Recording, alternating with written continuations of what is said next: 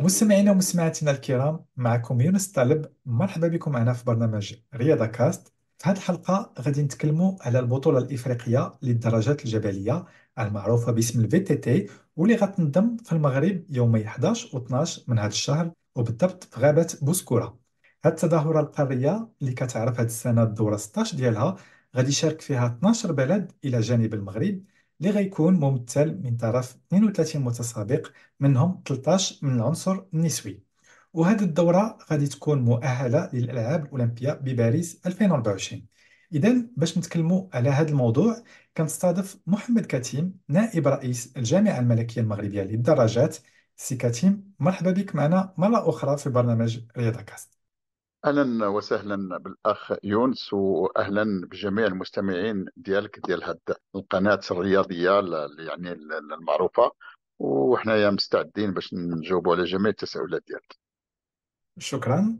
أولا وقبل كل شيء كنغتنم الفرصة باش نهنئكم على فوز أشرف الدغمي باللقب ديال طواف البنين اللي كان الختام ديالو السبت الماضي وكذلك فوز المنتخب المغربي على مستوى الفرق. شي كلمة في هذا الصدد سي كتيم والفريق الوطني المغربي اللي حقق الفوز الثاني على التوالي في الطواف ديال البنين. تعرفوا بأن السنة الفارطة كذلك فاز الفريق الوطني المغربي بواسطة كذلك أشرف الدغمي وفازوا كذلك في الفردي وفي الفرق.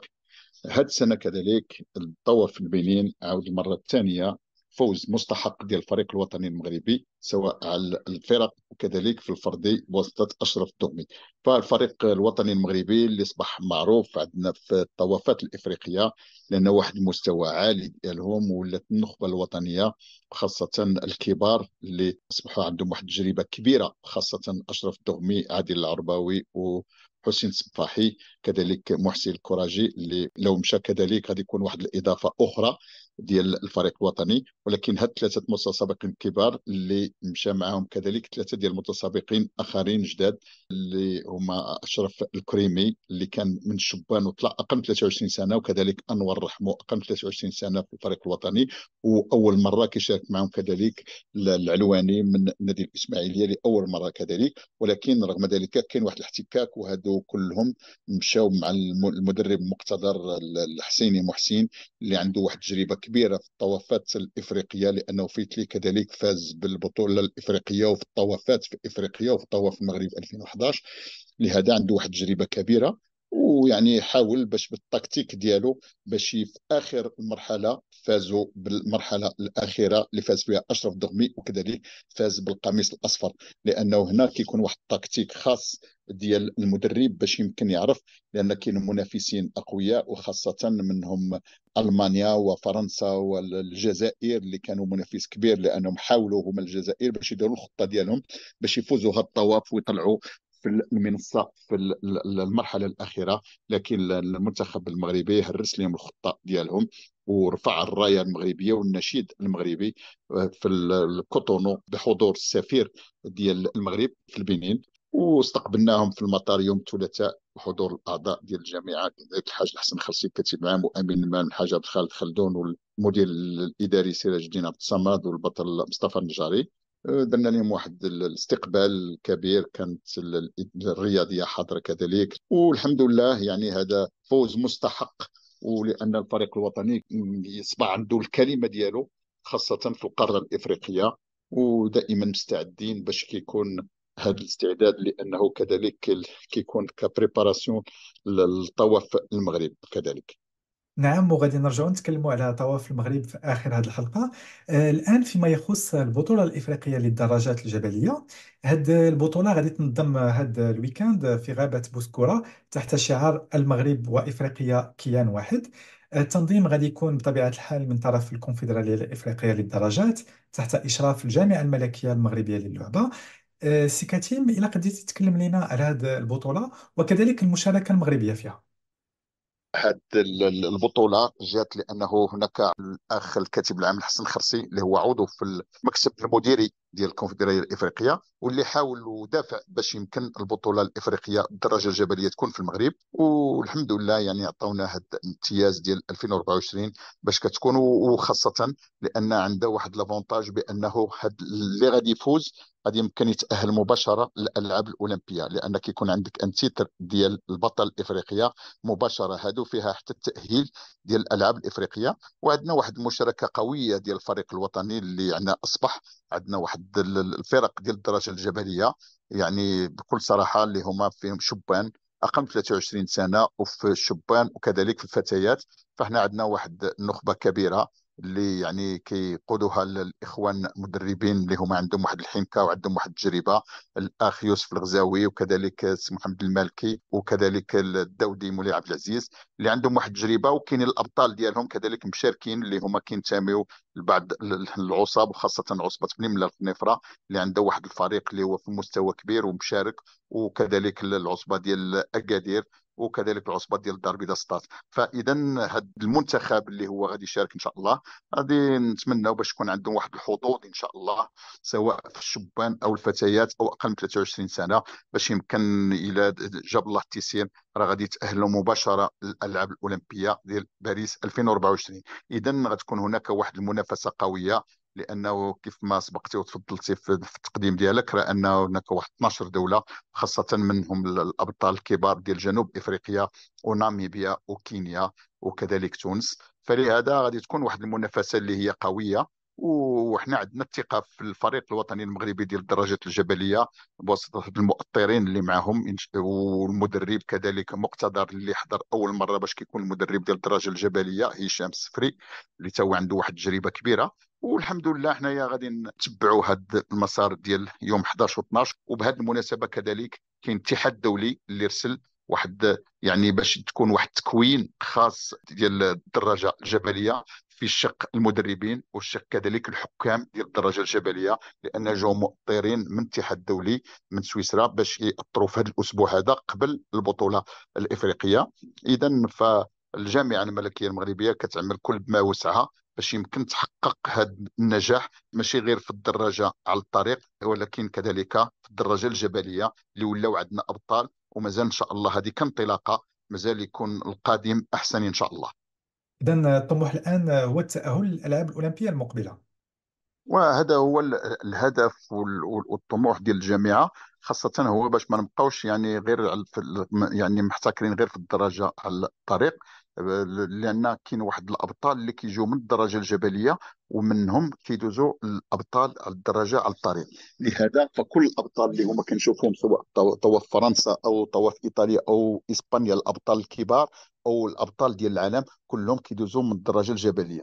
لهذا فحنايا حاولنا كجامعه باش يعني نحاولوا نكولوا ونعطيو واحد كذلك واحد العمل لهاد الاخوه اللي هم عندهم تخصص ديال الدراجة الجبلية باش يمكن نكونوا واحد الأبطال أمثال رجاء شاكير وكاين شابات أخرين اللي كينتموا لاكادير والسوق السبت. يعني سوق السبت عندنا جوج الفرق واللي عندهم أحسن العناصر اللي هما مشاركين في هذه البطولة الإفريقية في المنتخب. اذا هذا هو العمل ديال الجامعة باش يعني تعطي واحد الفرصة لهذه الأندية الخاصة بالدراجة الجبلية باش تكون هاد الأبطال باش يمكن يحصلوا باش يجيو للمنتخب. يعني ملي غادي تكون يعني البلاصة ديالو حاضرة وكاينة بالنتائج راه غادي يدوز لهذا المنتخب. ومن المنتخب كذلك لأنه عندنا حنا تصادف مع الألعاب الأولمبية ديال 2024 فلهذا الفائز اللي تيكون الفائز بالبطولة الإفريقية راه كيدوز مباشرة للالعاب الأولمبية كيف ما فاز النادي الغموشي اللي هو يعني في الصنف ديال الدراجة الجبلية ال BMX اللي تأهل مباشرة للالعاب الأولمبية 2024 لأنه فاز بالبطولة الإفريقية. لهذا فعندنا واحد اللي هو كيعيش في إنجلترا وفاز بالبطولة الإفريقية في الصنف ال BMX أيضا أهل مباشرة. فلهذا إحنا كنتظروا في هذا يوم السبت والأحد إن شاء الله باش يكون نصيب كذلك من أحد المغاربة ديالنا ديال المنتخب باش يمكن لما لا يحصل هو على التأهيل ديال الالعاب الاولمبيه كباقي البطل اللي تأهل أشرف الدغمي كذلك في الدراجه على الطريق. وحنا كنتمناو دائما الجامعة باش تعطي فرصة لهاد الأبطال باش يمكن يبينوا الموهبة ديالهم باش يكونوا حاضرين في المنتخب الوطني وكذلك في الملتقيات الدولية باش يبينوا حتى هما الموهبة ديالهم.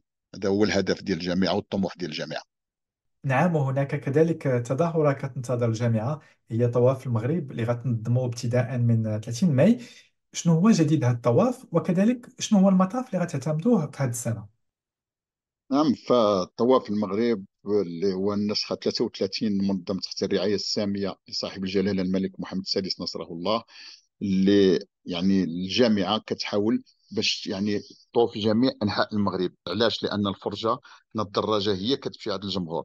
عكس الكرة اللي الجمهور كيجي باش يتفرج. حنايا كنديو حنا الفرجة لعند الجمهور باش يتفرج وحنا هاد الجامعة يعني كتحاول باش تعطي الفرصة لجميع المناطق المغربية باش لأن هذا واحد التراث اللي هو غير مادي تراث كبير اللي هو يعني المغاربة كلهم كيتسناو وكان هذا يعني النسخه 33 اللي هي ماشي سهلة باش يمكن نبداوه من الأراضي المغربية من الصحراء المغربية من مدينة العيون اللي غادي يجيو تقريبا 16 دولة زائد جوج ديال الفريق الوطني المغربي هي 18 يعني الحمد لله اذا حنا 18 الفريق اللي غادي يكونوا مشاركين في هذا الطواف في المغرب وهادو غادي يكون واحد يعني من اللي غادي ينزلوا جميع كلهم في مدينة العيون حبيبو تكون الانطلاقه تما فغادي يبداو جايين يعني انطلاقة المرحلة الأولى من مدينة العيون في اتجاه طرفايه ثم قلميم ثم غادي يجيو لأكادير لأنه كاين بعض البلايص اللي غادي يهزوا منهم transbordement اللي غادي يهزهم لأن كتكون المسافه طويلة كيجيو المدينة اللي غادي يعطوا منها الانطلاقه وكيعاودوا يشدوا انطلاقة بحال مدينة أكادير اتجاه غادي يجيو لمراكش كذلك لأنه دائما كيكون واحد transbordement في حالة إلا كانت المسافة طويلة بزاف. كيكون واحد transbordement اللي كيكون ديال 30 أو 40 كيلومتر باش تشد الانطلاقه من ديك المدينة. من مراكش غادي يهزهم transbordement لقلعه سراغنا ومن القلعة للخريبكه ومن خريبكا غادي يباتوا في خريبكا ويشدوا انطلاقه كذلك الغد ليه مدينة بني ملال عبر واد زم بجعد التادلة بني ملال. بني ملال كذلك غادي يباتوا تما ويشدوا انطلاقه من الخنيفره لمكناس من مكناس فاس الرباط والوصول غادي يكون مدينة الدار البيضاء أمام العمالة ديال المديونه اللي طلبها السيد العامل باش يكون لأن غادي يكون عندنا ال vélodrome إن شاء الله في بوسكورات مديونة. فالسيد العامل حاول قال لك باش يكون واحد الوصول اللي نعطيو واحد الانطلاقة ديال كذلك المشروع ديال ال vélodrome اللي غادي يكون في بوسكورة إن شاء الله. إذا فطواف المغرب النسخة 33 فغتكون إن شاء الله باش نحاولوا باش تكون ناجحة خاصة هاد الدول اللي كيثيقوا في المغرب وكيجيو لأنه كينعموا بالاستقرار والأمن والمناظر الطبيعية السياحة ديالنا عندنا الصحراء عندنا الطبيعة عندنا البحر يعني تبارك الله يعني المغرب فيه يعني كل شيء. شوفوا وهاد الدول اللي كيديروا الطلبات ديالهم حنا مازال حصرناها في هاد 16 دولة لأن ما يمكنش كيجيو تقريبا فوق 30 طلب وما يمكنش تلبي جميع الطلبات فكنحدوا كاين لجنة تقنية اللي كتحدد هاد الطلبات باش يمكن يكون يعني ناجح. وكذلك راه دائما هذا الشيء كله بالنجاح ديال وزارة التربية الوطنية والتعليم الأولي والرياضة اللي كتساهم معنا وكتعاوننا باش ننجحوا الطواف كذلك اللجنة الأولمبية مشكورين. وكنتمناو إن شاء الله باش تكون هذه النسخة ناجحة إن شاء الله. ولما لا يكون فوز المغرب أحد الأبطال ديال المغاربه ديالنا يفوزوا بالقميص الأصفر كذلك. نعم وكنتمنى لكم كل التوفيق. محمد كتيم شكرا جزيلا على الأجوبة ديالك والمشاركة ديالك معنا في هذه الحلقة. شكرا ومرحبا. إلى هنا ينتهي هذا العدد من برنامج رياضة كاست شكرا على الاستماع وإلى اللقاء.